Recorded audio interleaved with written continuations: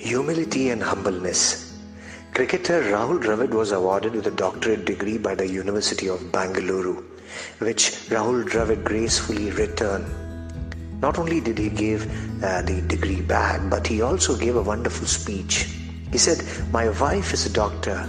She has spent countless sleepless nights and days to get this degree. My mother is a professor of arts. She has waited a long 50 years for her degree with perseverance. I worked hard to play cricket, but I didn't study that much. So, uh, how come I accept this degree? Einstein was offered the prime ministership by the Israeli government in 1952. Einstein politely said, I am an inexperienced student of physics. What do I understand about the governance and administration of a state?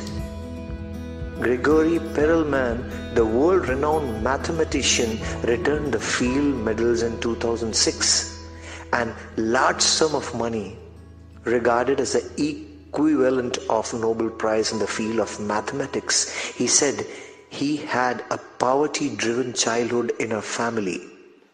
We had to manage in a very calculative manner to save mother's earnings. Maybe that's the reason why I was able to develop a little skill in mathematics since childhood.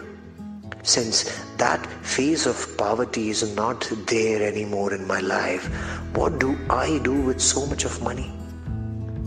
Seeing the humility of these people, one has to bow down one's head in respect and shame as well.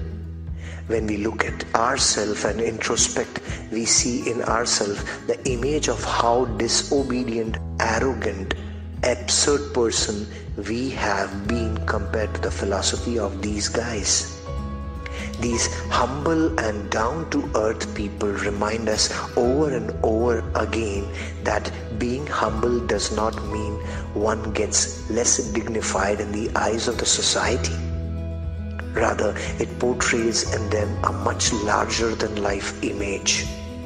Because we only become mean by our unruly arrogance while we grow up real big by our repeated efforts in trying to become humble and true to ourselves.